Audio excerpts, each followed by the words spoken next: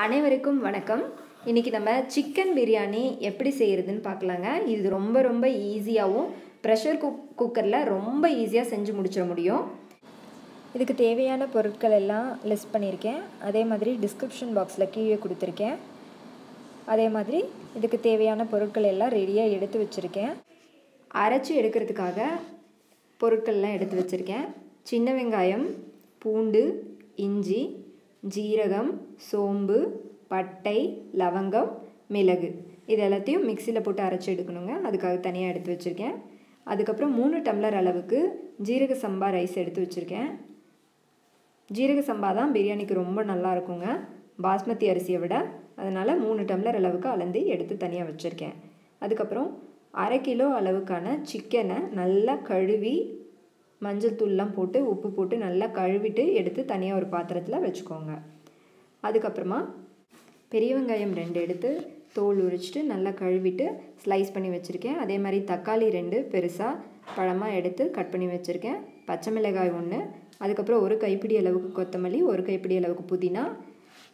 அதுக்கப்புறமா தேவையான தாளிக்கிறதுக்கு தேவையான பொருட்கள் எல்லாம் தனியாக எடுத்து வச்சுருக்கேன். பிரிஞ்சி இலை கருப்பு ஏலக்காய் ஏலக்காய் கடல் பாசி அன்னாசி முக்கு பட்டை லவங்கம் அப்புறம் மஞ்சள் தூள் மிளகாய் தூள் எடுத்து வச்சுருக்கேன். லெமன் ஒன்று பெரிய சைஸ் எடுத்து ஜூஸ் எடுத்து வச்சுருக்கேன். அதுக்கு தேவையான எண்ணெயும் நெய்யும் எடுத்து வச்சுருக்கேன். அப்புறம் ஜீரக சம்பா ரைஸை நல்லா கழுவிட்டு தண்ணி ஊற்றி ஊற வச்சுருங்க. இது கரெக்டாக அரை மணி நேரம் ஊறினா சரியாக இருக்கும். அரைக்க தேவையான பொருட்கள் எல்லாம் மிக்சி ஜாரில் போட்டு நல்லா மைய அரைச்சி எடுத்துக்கோங்க. திப்ப திப்பையாக இல்லாமல் நல்லா மைய அரைச்சி எடுத்து வச்சுக்கோங்க. ஜாரில் ஆட் பண்ணிட்டேன். அரைச்சி எடுத்துட்டேன். இதை ஒரு பவுலில் மாற்றி வச்சுருங்க. அடுத்தது கரம் மசாலா சேர்த்தணும். அதுவும் எடுத்து வச்சுருக்கேன் ரெடியாக இப்போது ஒரு குக்கரை அடுப்பில் வச்சுக்கோங்க. குக்கர் காய்ச்ச உடனே எண்ணெய் ஆறு டேபிள் ஸ்பூன் அளவுக்கு ஆட் பண்ணிக்கோங்க. நல்லெண்ணெய் ஊற்றினா நல்லாயிருக்குங்க நல்லெண்ணெய் சேர்த்துக்கோங்க. இல்லை கடலெண்ணெயும் சேர்த்துக்கலாம். அதுக்கப்புறம் ரெண்டு டேபிள் ஸ்பூன் அளவுக்கு நெய் சேர்த்துக்கோங்க. நெய் சேர்த்துனா நல்லா வாசனையாக இருக்கும் டேஸ்ட்டும் நல்லாயிருக்கும் நெய் பிடிக்காதவங்க இல்லை சாப்பிடாதவங்க நெய் சேர்த்துக்க வேண்டாம். அதுக்கு பதிலாக எண்ணெயே இன்னும் ரெண்டு ஸ்பூன் சேர்த்துக்கோங்க. அடுத்தது தாளிக்கிறதுக்கு தேவையான பொருட்கள் எல்லாம் சேர்த்துருங்க. இது ஒரு தடவை வதக்கி விட்டுருங்க. இதுக்கப்புறமா நம்ம ஒரு பச்சை மிளகாய் எடுத்தோம். அதை சேர்த்துருங்க. பச்சை மிளகாய்க்கு அப்புறமா கட் பண்ணி வச்சுருக்க வெங்காயத்தை சேர்த்து நல்லா கிளறி விடுங்க. வெங்காயம் நல்லா வதங்குறதுக்கு நம்ம கல்லுப்பு சேர்த்துக்கலாம் கொஞ்சம். அப்போ தான் வெங்காயம் சீக்கிரமாக வதங்கும். இந்த வெங்காயத்தை நல்லா பொன்னிறமாக வதக்கி எடுக்கணும். அது ரொம்ப முக்கியம். எப்போவுமே பிரியாணி தக்காளி சாதம் செய்யும்போது வெங்காயத்தை நல்லா பொன்னிறமாக வதக்கி எடுங்க. நல்லா கிளறி விட்டுட்டே இருங்க. இல்லைன்னா வந்து வெங்காயம் ரொம்ப கருகிடும் இல்லை அடி பிடிச்சிரும். நல்லா கிளறி விட்டுட்டு வெங்காயம் நல்லா வதங்கினதுக்கு அப்புறமா நம்ம அரைச்சி வச்சுருக்க விழுதை சேர்த்துடணும். வெங்காயம் நல்லா வதங்கிடுச்சு. இப்போ வந்து நம்ம அரைச்சி வச்சுருக்க விழுதை சேர்த்துடலாம். இதுவும் நல்லா பச்சை வாசனை போகிற வரைக்கும் நல்லா கிளறி விடணும். அது ரொம்ப முக்கியம். இதெல்லாம் வதங்கி எடுக்கிற அளவுக்கு நம்ம நல்லா எண்ணெய் சேர்த்தணும். இல்லைன்னா அடி பிடிச்சிரும். வதக்கிட்டே இருங்க இல்லைன்னா தெரிச்சு விழும். இப்போ நல்லா அரைச்ச விழுதெல்லாம் ஒன்றா சேர்ந்து வதங்கி வந்துடுச்சு இதுக்கப்புறமா நம்ம கட் பண்ணி வச்சுருக்க தக்காளியை சேர்த்துடலாம். இதை நல்லா கலந்து விட்டுருங்க. தக்காளியை நல்லா எண்ணெய் பிரிகிற அளவுக்கு வதக்கி விடணும். நல்ல பழுத்த தக்காளி பழமாக சேர்த்தணுன்னா நல்லா சேர்ந்து வரும். கொஞ்சம் பச்சையாக இருந்ததுன்னா கொஞ்சம் வதங்குறதுக்கு லேட் ஆகும். இப்போ நம்ம ஒரு டீஸ்பூன் அளவுக்கு மஞ்சள் தூள் சேர்த்துக்கலாம். அதுக்கப்புறம் காரத்துக்கு தேவையான அளவுக்கு மிளகாய் பொடி சேர்த்துக்கலாம். நான் ஒரு டீஸ்பூன் அளவுக்கு சேர்த்தினேன். அதுக்கப்புறம் ஒரு அரை டீஸ்பூன் அளவுக்கு கரம் மசாலா சேர்த்தினேன். இது எல்லாத்தையும் நல்லா சேர்த்துட்டு நல்லா கலந்து விட்டுருங்க. இதுவும் நல்லா கொஞ்சம் பச்சை வாசனை போகிற அளவுக்கு வதங்கணும். கலந்து விட்டுக்கிட்டே இருங்க இந்த ஸ்டேஜுக்கு அப்புறம். இல்லைன்னா அடி பிடிச்சிரும். தக்காளி மசிலன்னா நல்லா அழுத்தி விட்டுருங்க. நல்லா கலந்து விடணும். இது எல்லாம் ஒன்றா சேர்ந்து வந்ததுக்கப்புறம் இந்த எண்ணெயிலேயே கொஞ்சம் நம்ம கொத்தமல்லி இலையும் புதினா இலையும் சேர்த்துடலாம். நல்ல வாசனையாக இருக்கும். கொத்தமல்லி இலையும் புதினா இலையும் கண்டிப்பாக சேர்த்துணுங்க.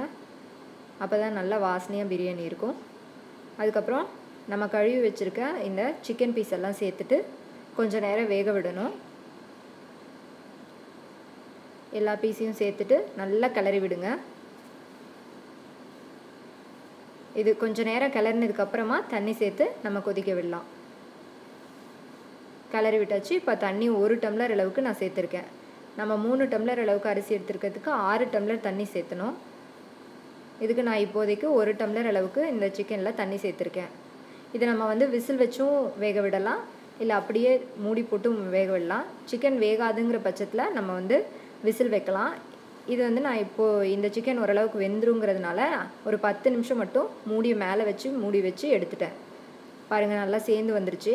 தண்ணி கு ஃபுல்லாக வத்துனதுனால நான் இப்போ கொஞ்சம் மட்டும்தான் தண்ணி இருந்தது. அதனால அஞ்சரை டம்ளர் அளவுக்கு தண்ணி சேர்த்துருக்கேன் இப்போது நீங்கள் வந்து விசில் போட்டு வேக வச்சா தண்ணி அப்படியே தான் இருக்கும். அதனால் அஞ்சு டம்ளர் அளவுக்கு மட்டும்தான் தண்ணி ஊற்றணும் தண்ணி ஊற்றுறத பார்த்து கரெக்டாக ஊற்றுங்க அதுக்கப்புறம் இப்போ நான் வந்து ஒரு டேபிள் ஸ்பூன் அளவுக்கு தயிர் சேர்த்துருக்கேன். இது ஆப்ஷனலுங்க தயிர் வேணாங்கிறவங்க சேர்த்துக்க வேணாம். தயிர் சேர்த்துட்டு நல்லா கலந்து விட்டுருங்க. இப்போவே உப்பு காரம் எல்லாம் டேஸ்ட் பார்த்துக்கோங்க. கடைசியாக கொதிச்சதுக்கப்புறம் போட்டோன்னா நல்லா இருக்காது காரம் ரொம்ப வேணுங்கிறவங்க மிளகாய் பொடி சேர்த்துக்கோங்க. சேர்த்து நல்லா கொதிக்க விட்டோம்னா அந்த மிளகாய் பொடி வாசனை போயிடும் மீதி இருக்க புதினா இலை ஃபுல்லாக சேர்த்துட்டு கொஞ்சம் மட்டும் கொத்தமல்லி இலையை வைக்கிறேன் கடைசியாக சேர்க்கறதுக்காக. நல்லா கலந்து விட்டுருங்க. இப்போ ஒரு கொதி வர அளவுக்கு நம்ம விடணும். கொதி வந்ததுக்கப்புறமா நம்ம அரிசியை சேர்த்துட்டு கிளறி விட்டுடலாம். இப்போ கொதி வந்துருச்சு. இப்போ நம்ம வந்து தண்ணியை ஃபுல்லாக வடிச்சிட்டு அரிசியை சேர்த்துக்கலாம். தண்ணி சுத்தமாக இருக்கக்கூடாதுங்க. ஏன்னா நம்ம தேவை அரிசிக்கு தேவையான அளவு தண்ணி ஏற்கனவே ஊற்றுனதுனால தண்ணி சேர்த்தக்கூடாது. அரிசியெல்லாம் சேர்த்தாச்சு. இப்போ நல்லா ஒரு கலந்து விட்டுட்டு அரிசி சேர்த்ததுக்கப்புறமும் நம்ம வந்து ஒரு தடவை ஸ்பைஸ் லெவல் செக் பண்ணிக்கலாம்.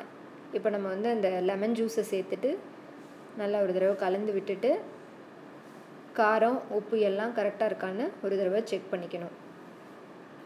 கொஞ்சமாக கசக்கிற அளவுக்கு உப்பு இருந்ததுனா தான் நம்மளுக்கு பிரியாணி ரெடி ஆனதுக்கப்புறம் அரிசியில் நல்லா உப்பு இறங்கி கரெக்டாக இருக்கும்.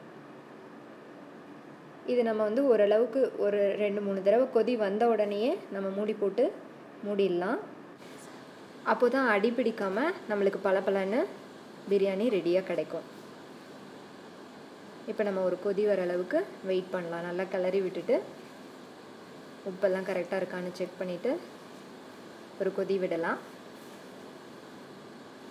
இந்த ஸ்டேஜில் கூட உங்களுக்கு காரம் ரொம்பவே பத்தலை அப்படின்னு தோணுச்சுன்னா கொஞ்சம் மிளகாய் மிளகாய் பொடி சேர்த்துக்கோங்க. நல்ல கொதி வந்துருச்சு. இப்போ நான் வந்து குக்கரை விசில் போட்டு மூடி மூணு விசில் வர வரைக்கும் விட்டு எடுக்க போகிறேன் மூணு விசில் சரியாக இருக்கும். ஜீரக சம்பா ரைஸ் வேகிறதுக்கு. அவ்வளோதாங்க ரெடி ஆகிடுச்சு நம்ம பிரியாணி. பாருங்கள் எவ்வளோ சூப்பராக இருக்குது இது ரைத்தா பச்சடியோடு சேர்த்து சாப்பிட்றதுக்கு ரொம்ப நல்லாயிருக்கும் சூப்பரான சிக்கன் பிரியாணி தயாராகிடுச்சிங்க இந்த வீடியோ உங்களுக்கு பிடிச்சிருந்ததுன்னா லைக் பண்ணுங்கள் ஷேர் பண்ணுங்கள் நம்ம சேனலுக்கு சப்ஸ்கிரைப் பண்ணுங்கள் Thank you.